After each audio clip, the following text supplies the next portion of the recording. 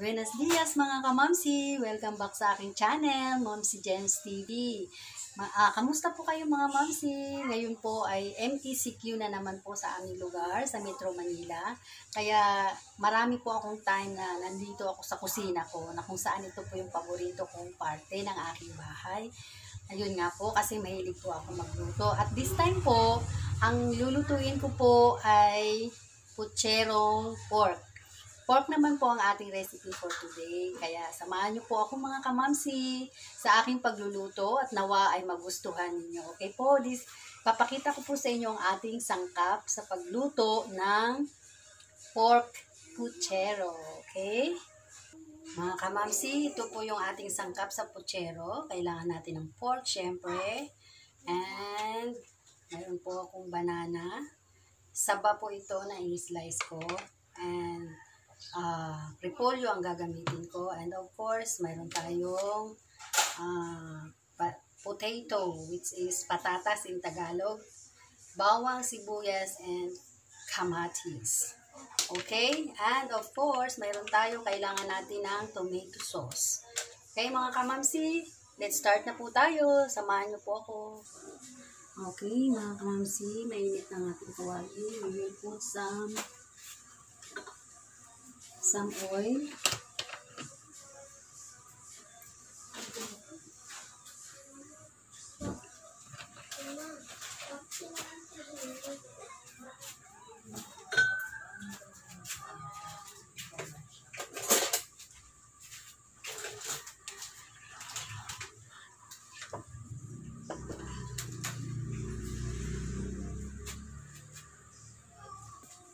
Okay, mainit na po ang ating mantika.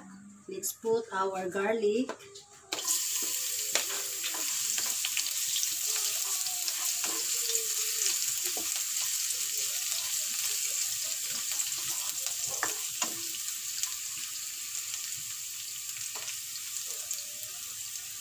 And onions.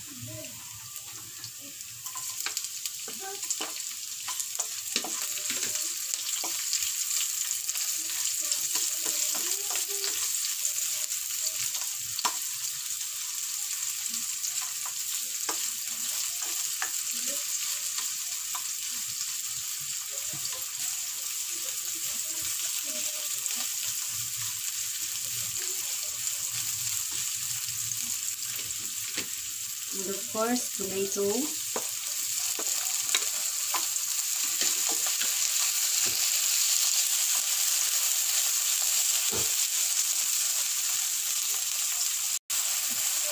Okay, kamansi. Medyo luto na po at nag-set na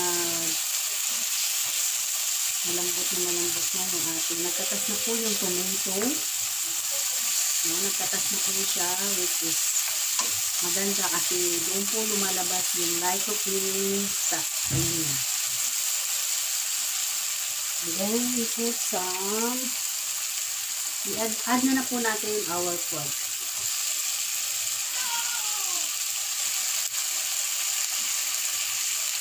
Mix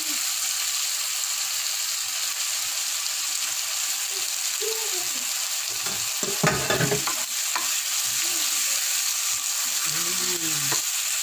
well. Ayan. Very simple lang po ito recipe nito. Pero ang masarap po dito is kailangan malambot po yung pork para pag kinagat po siya ay hindi na po kayo nakikipaglaban. Okay? Nararamdaman niyo po yung dinamnam ng karne ng pork. And then, put some salt. Kayo po ang bala sa salt na ilalagay ninyo. Ang importante lang po ay huwag maalas. Tamang-tama lang po ang lasa. Hindi masama po ang sobrang salt. Okay.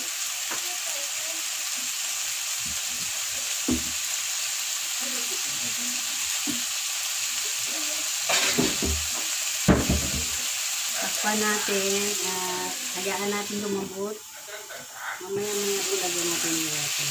Medyo isang kutsa lang natin sa natin para yung lasa ng mga ingredients na ating ginisa ay lumasa doon sa pork. Okay?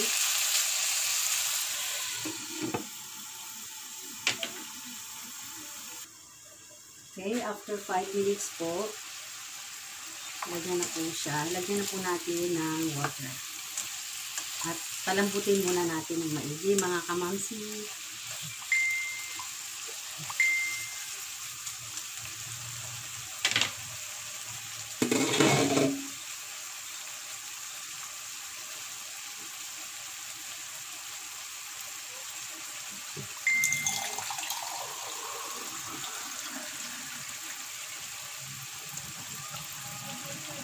One cup lang po. Okay. Yan po natin siyang lumambot. Mga 10 minutes. Tingnan natin kung malambot na. Okay. Okay, mga kamamsi. Habang pinapalambot natin ang ating pork, naglagay ako dito ng frying pan.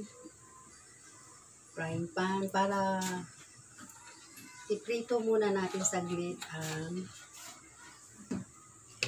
banana at saka yung potato.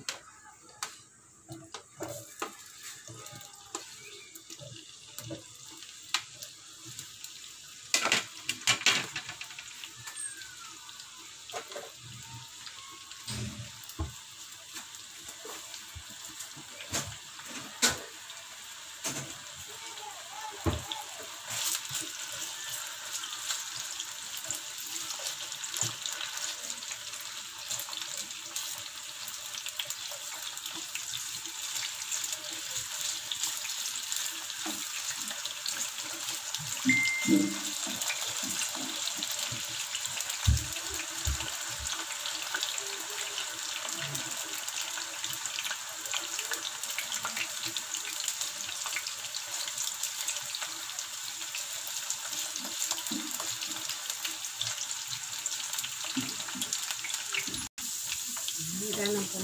Ay, ay, sorry ma. Okay yan. Ayan, tapos na po. Mayroon pong sumilip. Tapos na ang pritong. Lagay naman po natin ang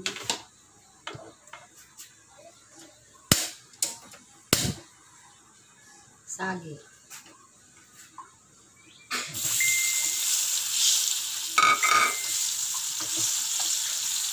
Ayan. Dito lang natin ng konti, mga mamsi, para mamaya okay na siya. Ito yung ating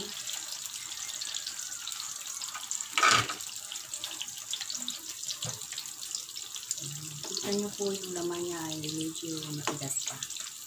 Ayan, let's simmer for another 10 minutes.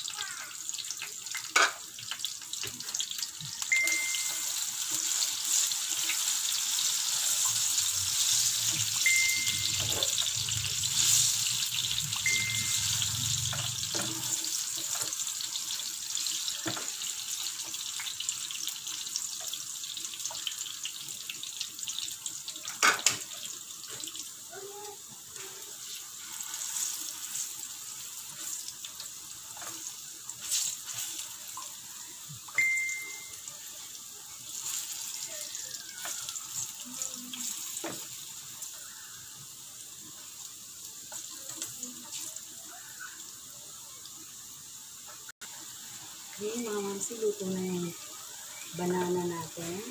Tanggalin na natin. Itong banana natin na ito ay magbibigay ito ng flavor sa ating pochero. Dahil sa kanyang taglay na sweetness. Yun.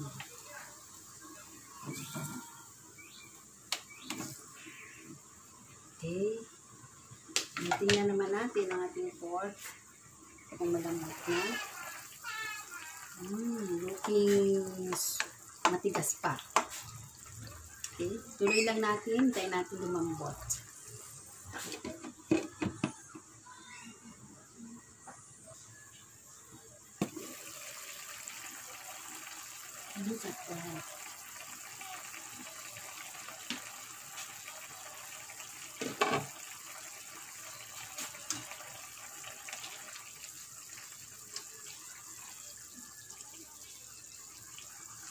Super tigas pa ng karne. I will put some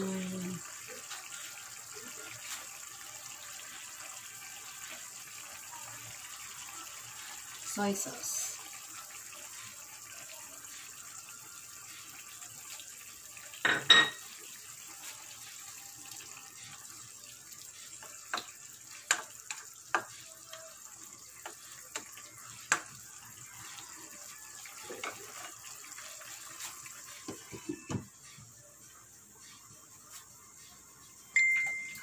Okay, mga mamsi, after 10 years later,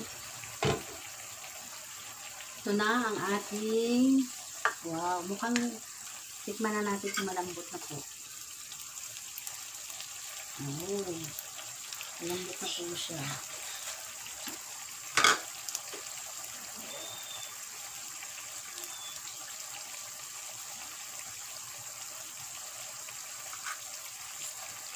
Hmm, malambot siya mga mamsi. Ayun. Sarap. Let's put our tomato sauce.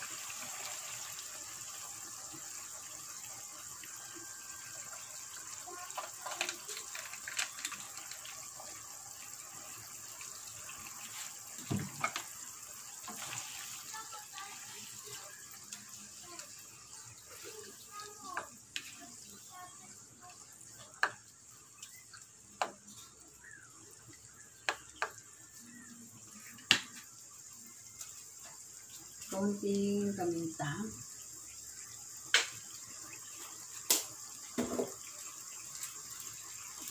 And konting leche.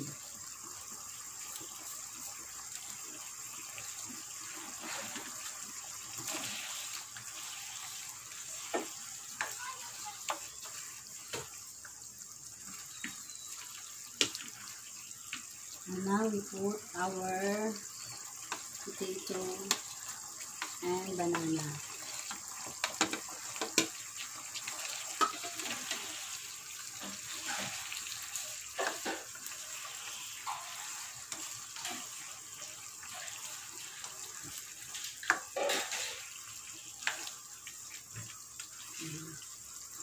Okay. Simmer this for just kumulo lang ng konti. Now, it's time to put our for our cabbage. Cabbage and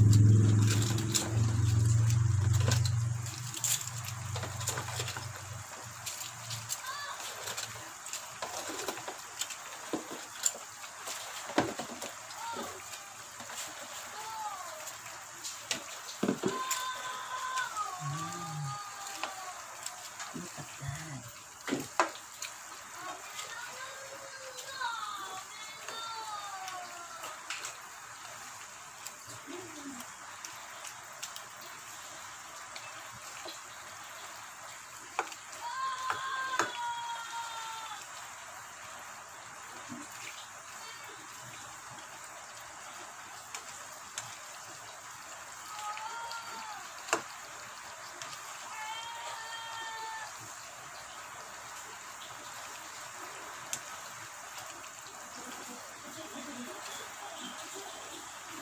Ayan, kasi ganda na ang ating, ito ang ating puchero.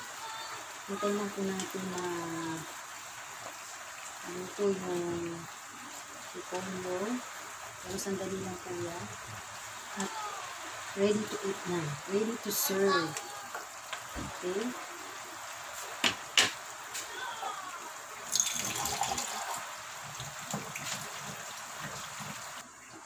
Okay, yan ang mga mamsi. Luto na ang ating puchero. That's it. Ganun lang kadali mga kamamsi. I'm, I hope. Patayin ko na. Ayan po. Mm.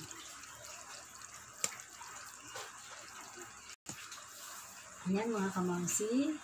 Ah, paalala lang po, dahil MACQ na naman po tayo, dumadami na naman ang ah, nahawa, ng kasakit ng coronavirus. Kaya, pali- paalala lang po na makinig tayo sa gobyerno, sa protocol ng gobyerno. Kung wala po tayong gagawin sa labas, stay at home lang po tayo. At yung mga nagtatrabaho, ah, magdala na lang kayo ng mga, ano ninyo, mga identification card ninyo para hindi na po kayo maabala pag once na, na sita kayo ng mga pulis, ganon. Di po ba? At magdala po ng alcohol. Laging mag-wear ng face mask at face shield kung mayroon, di po ba? Pero ngayon kasi pinapaano na yan eh.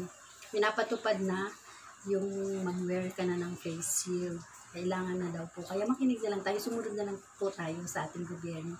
Kasi para din po yan sa ating ah, kapakanan, di ba? At yung mga problema natin ngayon, stay ah strong lang po tayo. Huwag po tayong, huwag po tayong makalimot na magdasal na lang po. Ipagdasal na lang po natin ang ating ah, future, yung magkaroon na po ng bakuna para po dito sa virus. Okay po?